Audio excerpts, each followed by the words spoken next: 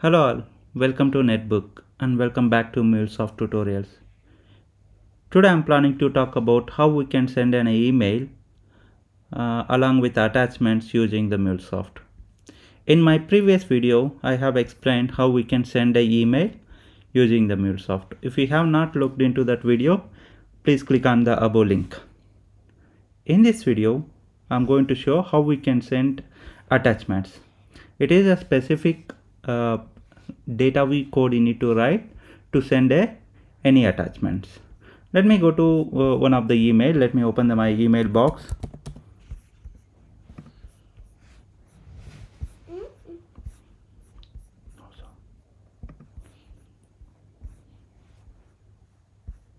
So if I open this email and uh, I can see that there is attachment. If we see attachment, it has a name of the file. When I open it, the file has file content. This is the file name. That is attachment name. This is the attachment content. So that means we can send a more than one uh, attachment in a mail and each uh, attachment should have file name associated with the file content. That is how we need to send. So I have prepared one request over here. In my previous request, I used to send this. Now I'm sending attachments over here. It has a file name welcome document.pdf and file content. This is the date uh, base64 data which I converted online PDF data I have converted into base64 and uh, similarly I have another attachment attached over here in the down let me show that the file name is netbooklogo.png and the file content. Same the png i have converted into base64 online. Now this data i'm going to receive as input in my api now what i want to do if i want to send the attachment i need to perform certain steps. I need to write a DataWeave code for mapping the file name file content. I need to convert that base64 data which i'm sending through the request to actual uh, file and then I need to map that attachment to the send component. Let me start. This is my previous uh, API send uh, email uh, uh, which I have explained. When I open it, this is my flow. Over here, I'm going to take transform message over here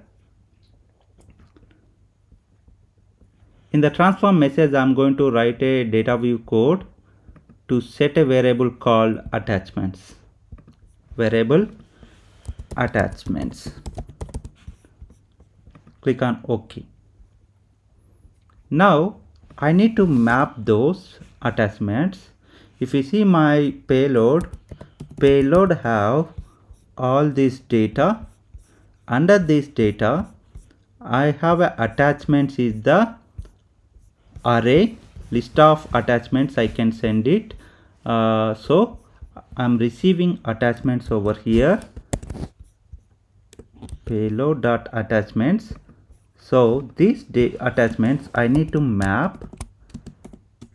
So when I'm going to map I need to send file name associated to the file content. This is the file name that is the key. And file content. But the problem is file content right? Dollar dot file content. The problem is if i send it like this this is the key actually right? So dollar dot file name that is what i'm receiving for this particular key the value is this one. The value will go over here but I need to put a braces over here for that. Okay that is the main thing.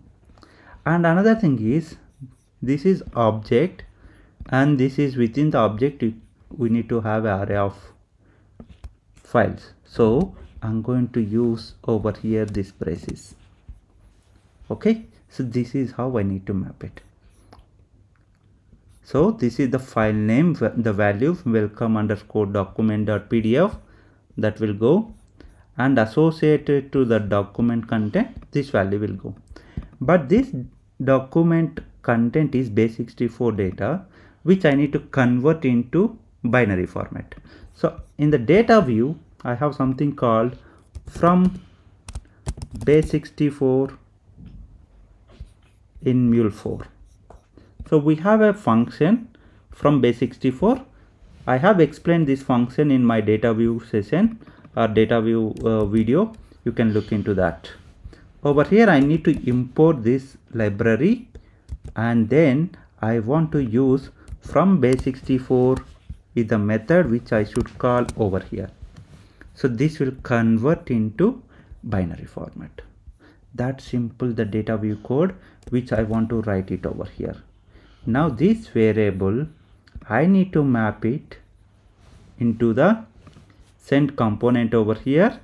If you see that in the down this over here I should have a variable should be passed over here. Where dot? Attachments.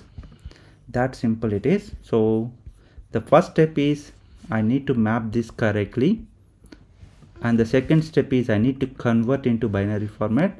The third step is I need to pass per you know variable in a um, attachments mapping over here. Save it. Let me test it this flow now. Right click run this project. While running this project I'm going to prepare my request. I have over here my request. I have prepared previously this one. Now what I'm going to do is I'm going to replace the complete data with a new request over here with attachments. Let me take it this. So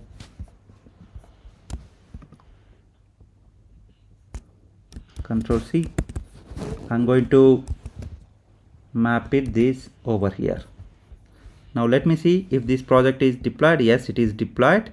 Now when I send this request if you see that I should receive a email in this email box. Let me open that email box also show you that it is uh, it is uh, not there any email with that currently. So this is my email box which I should receive. So let me test it. Now i'm going to submit this request. Send.